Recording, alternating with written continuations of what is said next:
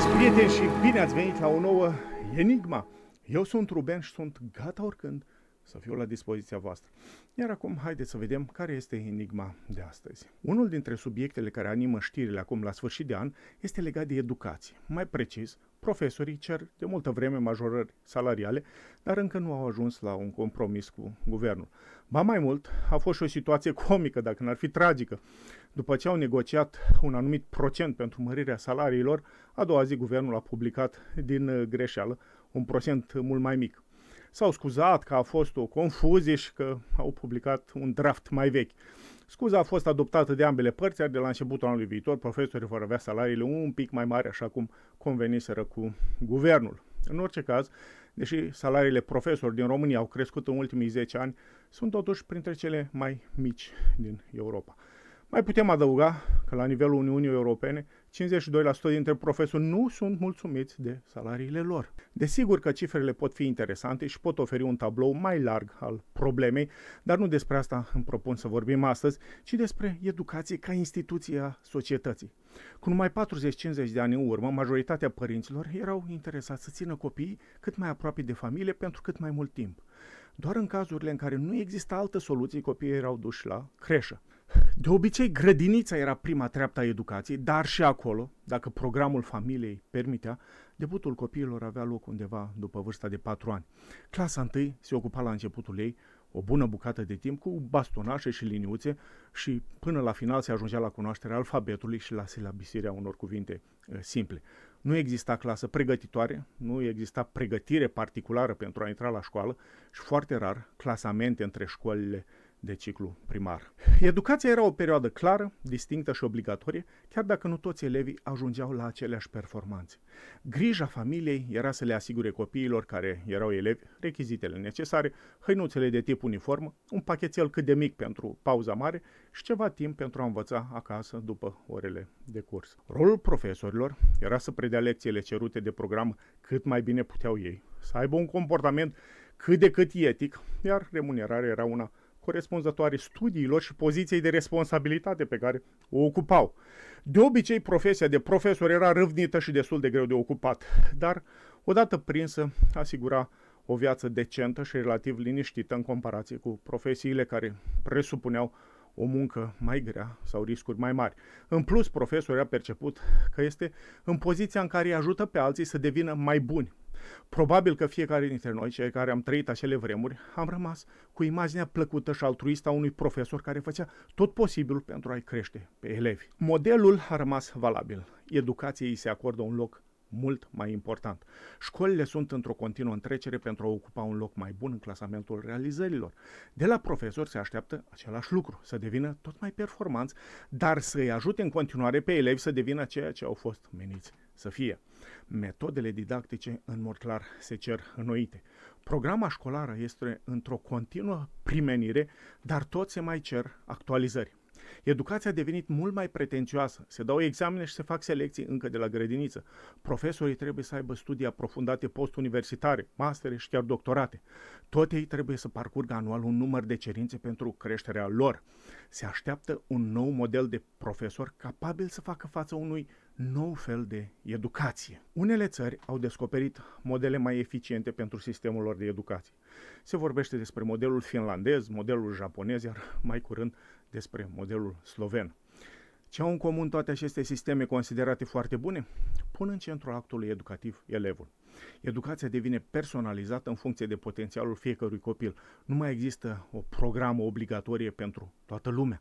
În esență, modelul finlandez este cel în care educația este configurată astfel încât tinerii sunt pregătiți atât pe plan școlar, dar și pentru viața, pentru viitor, punându-se accent pe competențele practice și pe dezvoltarea unor aptitudini de care este nevoie astăzi.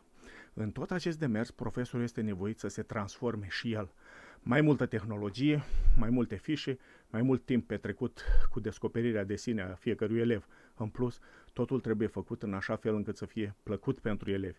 Ceea ce nu înveți cu bucurie, nu vei reține, este filozofia lor. Și acum întrebarea capitală sau miezul enigmei.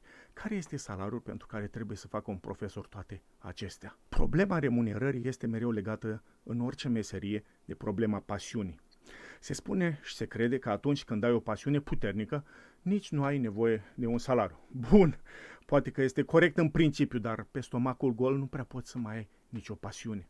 Securitatea imediată care ține de acoperirea facturilor și nevoilor curente devine o apăsare, iar foamea devine singura pasiune. Educația nu se poate face în lipsa asigurării acestor minime cerințe.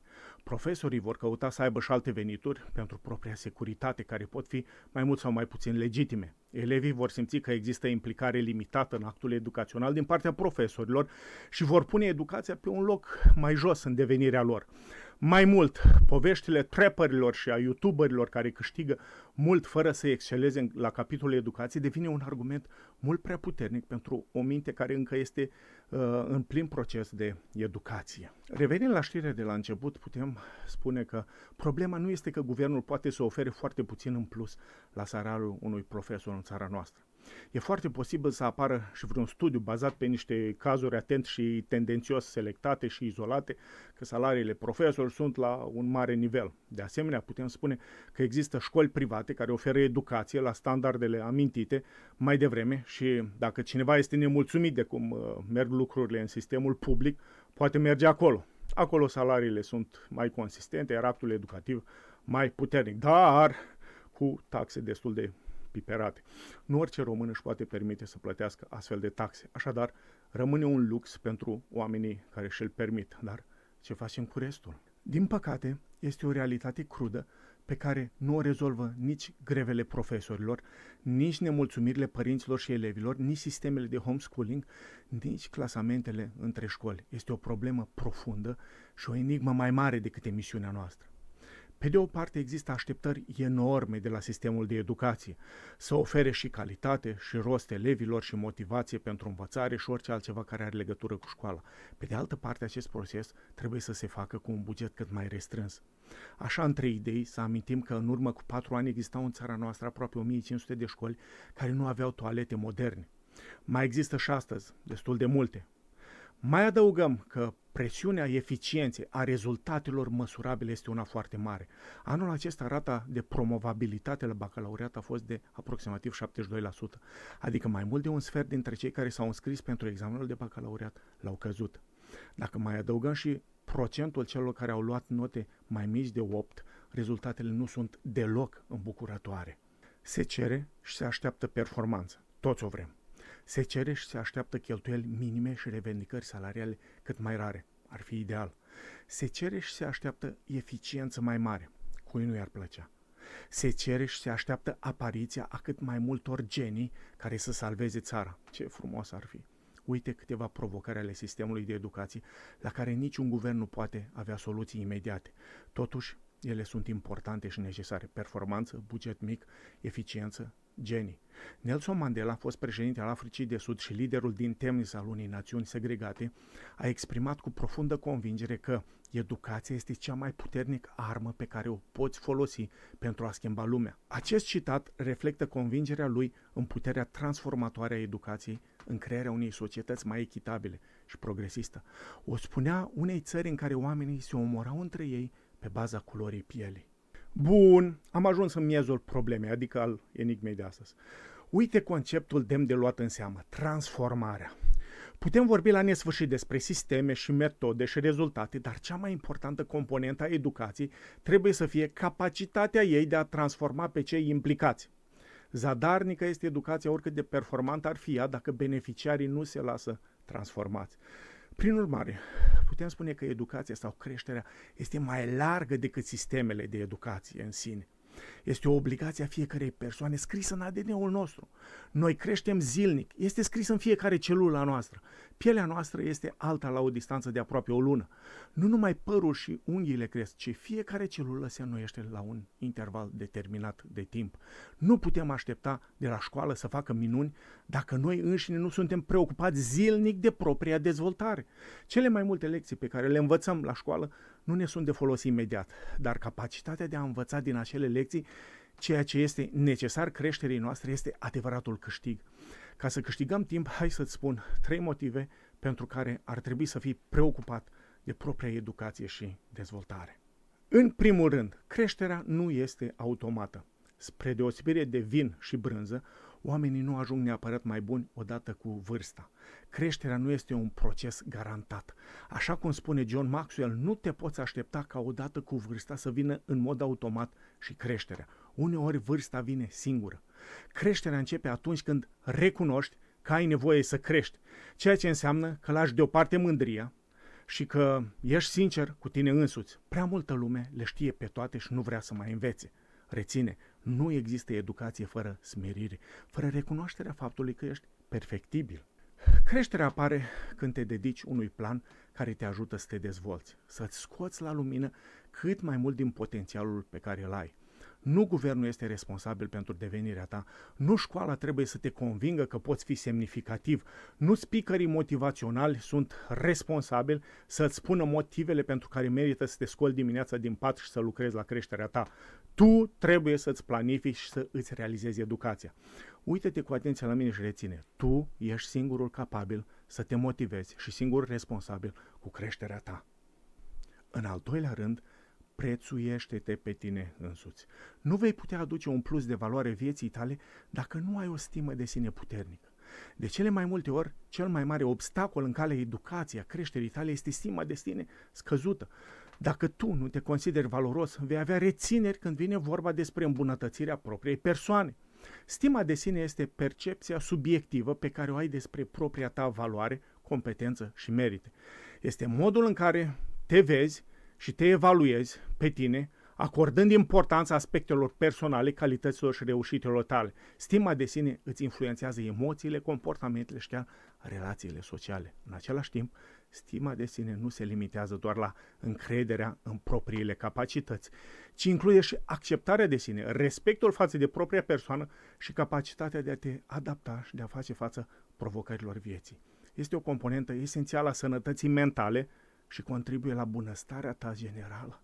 Orice persoană este prețioasă, toți oamenii au potențialul de a crește. Asta te include și pe tine. Nu ar trebui să te compari niciodată cu alții. Singura comparație legitimă pe care o poți face este numai între persoana care ești acum și persoana care ai putea deveni dacă ai crește.